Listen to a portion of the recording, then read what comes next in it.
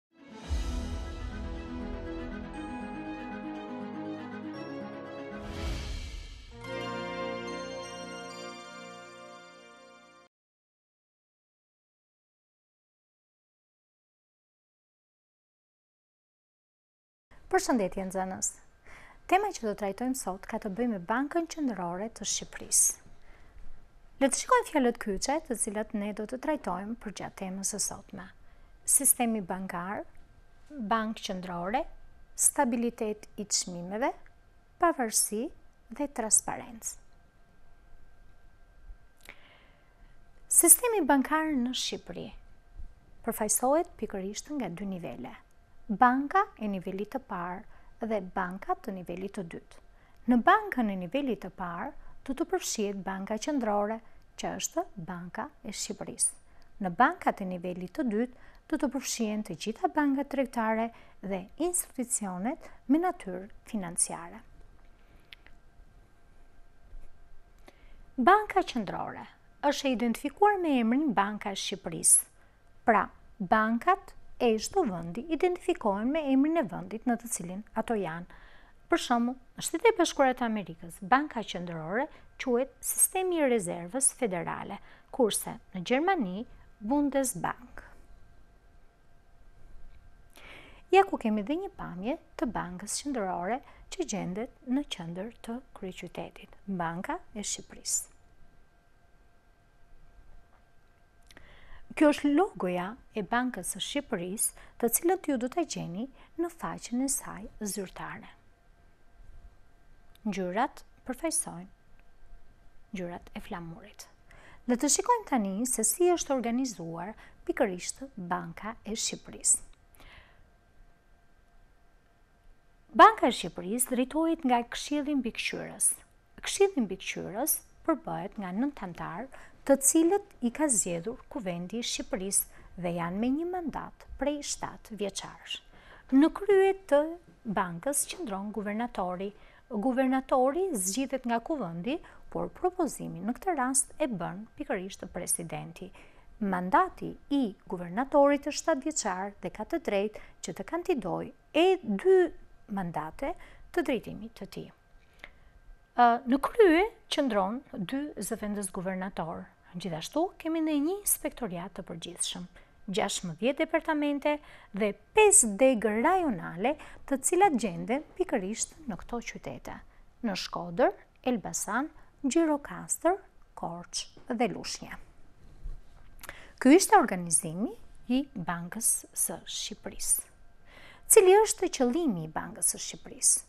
Banka e Shqipërisë është krijuar ligjërisht në prill të vitit një mijë e nëntëqind e nëntëdhjetë e dy, që prej vitit një mijë e nëntëqind e nëntëdhjetë e gjashtë qëllimi kryesor i Bankës së Shqipërisë është stabiliteti i çmimeve. Është krijuar me miratim të Ligjit shtatë mijë e pesëqind e pesëdhjetë e nëntë për Bankën e Shqipërisë, dhe në datë njëzet e dy prill një mijë e nëntëqind e nëntëdhjetë e dy gëzon funksione të mirëfillta të një banke qendrore klasike, me objektivin kryesor që të garantojë arritje dhe ruajtjen e stabilitetit të çmimeve dhe efektivitetin e sistemit financiar. Pra, të sistemin e çmimeve ose ndryshe, atë që ne ta quajmë ndryshe inflacion. Cilat janë tiparet kryesore të Bankës së Shqipërisë?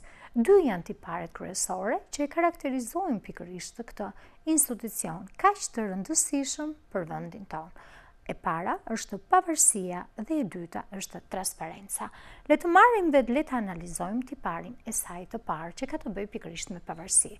Ju rikujtoj, banka është ka pavarësi, por pavarësia e saj nuk është absolute, është relative.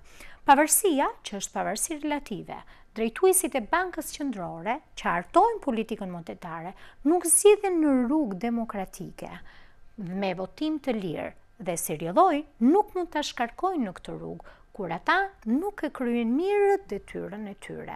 Ju rikujtoj edhe një herë që vetë guvernatori i Bankës së Shqipërisë propozohet nga presidenti dhe miratohet nga kuvendi. Prandaj për shkarkimin e një guvernatori pra të guvernatorit ekzistues, përsëri duhet të rikthehet, duhet të shkojë përsëri në parlament dhe atje vendoset përsëri nëse do të shkarkohet apo jo.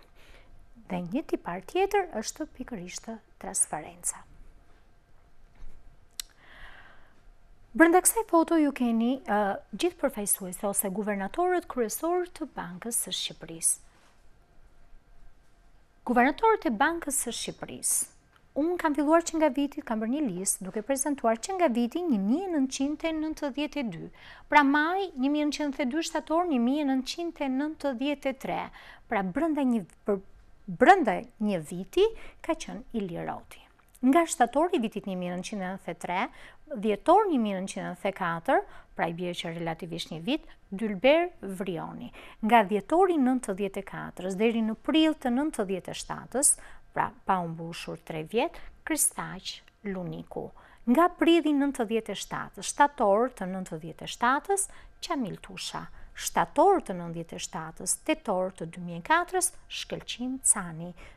tetor të dy mijë e katrës, shtator të dy mijë e katërmbëdhjetës, Ardian Fullani, është më e gjatë pra po shikoni pak periudhat, pra afërsisht dhjetë vjet, pra e ka kaluar më shumë se sa një mandat. Pra janë 7 plus 3.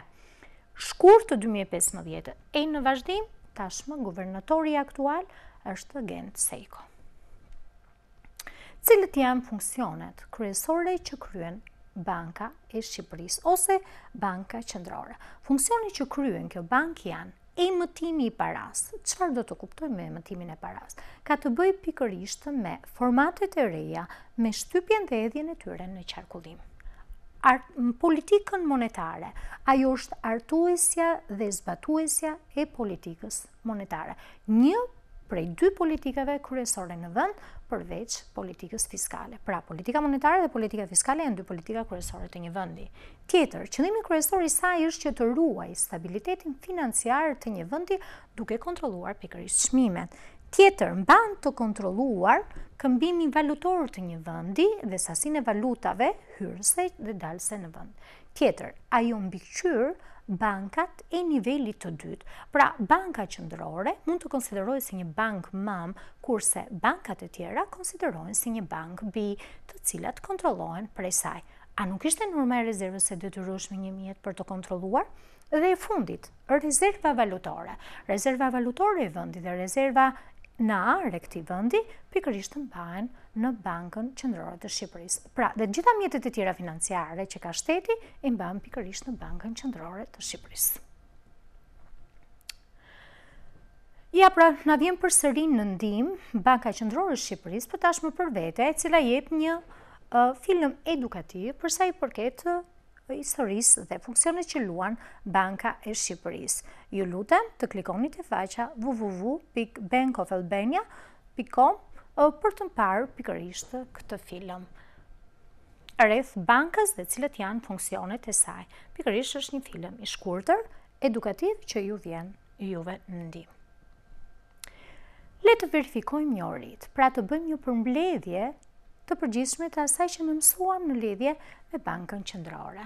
Pyetja e parë, kur u krijua banka e Shqipërisë?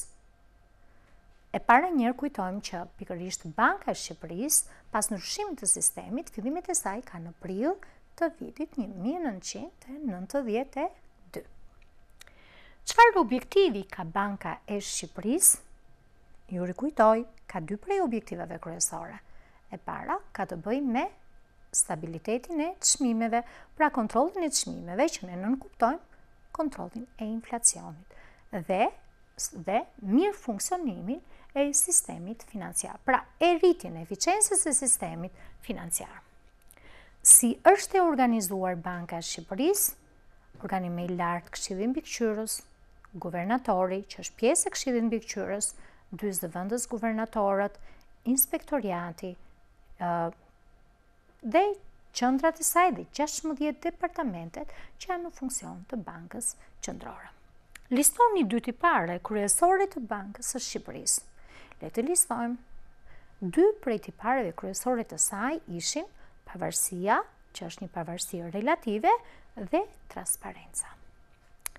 Cilat janë funksionet e Bankës së Shqipërisë? Ne sapo i rikujtuam, që nga emetimi i parasë e deri te ruajtja e rezervës financiare, valutore. Detyrë. Shkruani dallimin që ekziston ndërmjet Bankës së Shqipërisë dhe bankave tregtare, ose thënë ndryshe, dallimin ndërmjet nivelit të parë dhe nivelit të dytë. Banka qendrore, banka tregtare. Unë do t'ju them një dallim që ndoshta nuk ju ka shkuar shumë në mend. Nëse unë them që jam kliente unë si person, cila jam kliente e kujt, Atëherë, unë jam kliente e bankave tregtare, nuk mund të jem dot kliente e Bankës së Qeverisë. Pse? Sepse klientë të Bankës së Qeverisë janë bankat tregtare dhe vetë qeveria. Pra ky është një dallim thelbësor që ekziston. E para, banka qendrore është bankë e nivelit të parë, bankat tregtare janë banka të nivelit të dytë. dhe për sa i përket dhe, për sa i përket edhe dallimeve të tjera, pra funksioneve që ato kryen. Ju falënderoj. Bashkë, mirupafshim.